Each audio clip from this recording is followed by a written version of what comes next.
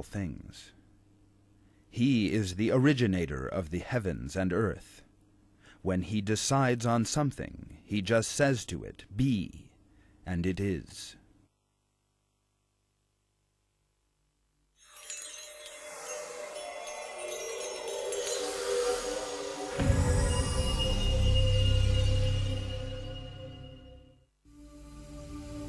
In the same way that structures that cannot be reduced to a simpler form demolish the claims of the myth of evolution, the fine detail they possess reveals to us, with the most striking examples, God's artistry and matchless intellect. The signs of creation in living things have now become a scientific concept and are supported against Darwinism by the world's best known scientists.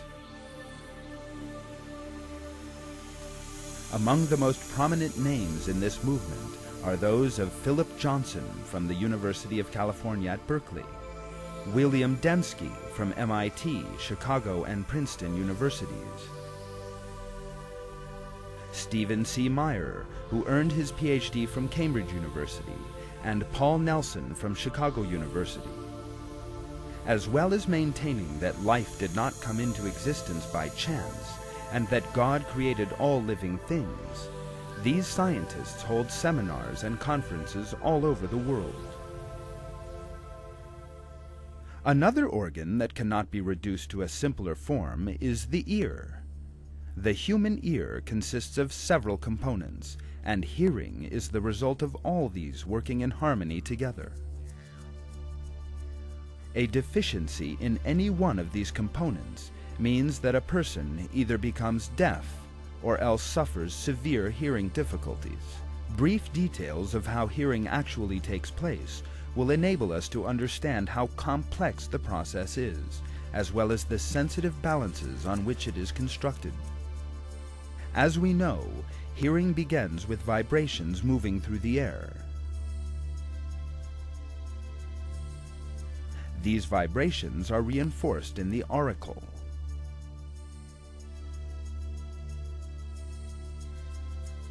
In this way, the intensity of the sound waves is amplified by approximately 17 decibels on entering the outer ear, from where the sound vibrations reach the ear membrane. The ear membrane is so sensitive that it can perceive vibrations of the dimensions of a single molecule. It is thanks to this sensitivity that in a silent environment we can hear someone whispering from many meters away. The ear membrane enhances the vibrations reaching it and transmits them to the middle ear. Here, there are three small bones in contact with one another in a very sensitive balance. These three bones, known as the anvil, hammer, and stirrup, enhance the vibrations reaching them from the membrane. The mechanical movements we have described so far began turning into sound in the region known as the inner ear. The inner ear contains a liquid-covered organ known as the cochlea. The final component of the middle ear, the stirrup, is connected to a membrane on the entrance to the cochlea. Mechanical vibrations in the middle ear are transmitted to the cochlea fluid by means of this membrane. The vibrations reaching the inner ear set up a wave action in this fluid. The inner walls of the cochlea are lined with small hair-like structures, which are in turn affected by the wave movements in the fluid. These tiny hairs move according to the wave motions in the cochleal fluid. If a loud noise arrives, most of these hairs move, and in a more powerful manner. Every sound frequency in the outside world sets up different reactions in these hairs. Fine, but what does the movement of these hairs signify? What possible connection can these hairs in the cochlea in the inner ear have with our listening to a classical music concert, recognizing a friend's voice, hearing the sound of a car and distinguishing millions of other sounds? The answer to that question once again shows the magnificent complexity of the ear. Each of these tiny hairs is actually a separate mechanism located on 20,000 or so individual cells surrounding the inner wall of the cochlea. This movement opens the ion channels in the cells lying beneath the hairs and permits the entry of ions into them. When the hairs lie back in the other direction, the cell doors close. This constant motion constantly changes the cell's chemical balances and allows them to produce electrical impulses. These electrical impulses are transmitted by nerves to the brain, where they are interpreted and converted into sound.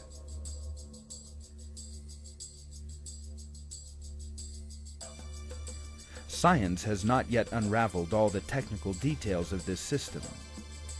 In producing these electrical signals, the cells in the inner ear manage to reflect the frequency, force, and rhythm of the waves from the outside world. This is such a complex process that science has not yet been able to determine whether the process of distinguishing frequencies takes place in the inner ear or in the brain.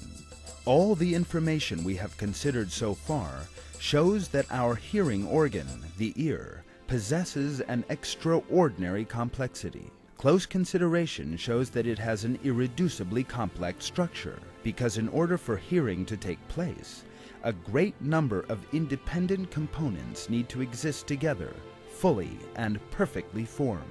If just one of these is removed from the ear, or else suffers a structural defect, then one will no longer be able to hear anything.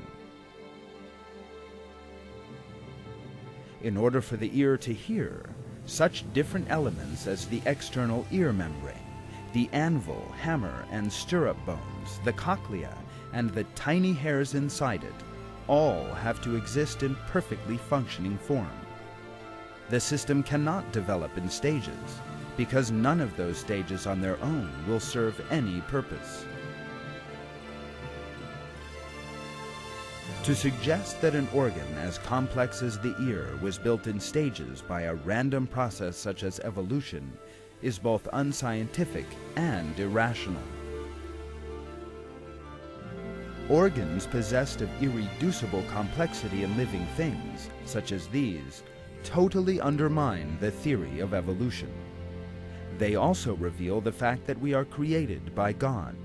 This same truth is revealed in one of the verses of the Quran.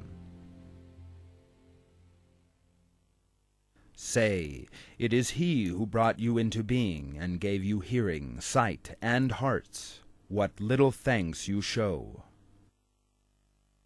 At the point we have arrived at today, science shows that life was created and reveals to us the omniscience of our Creator, Almighty God, the Lord of all the worlds.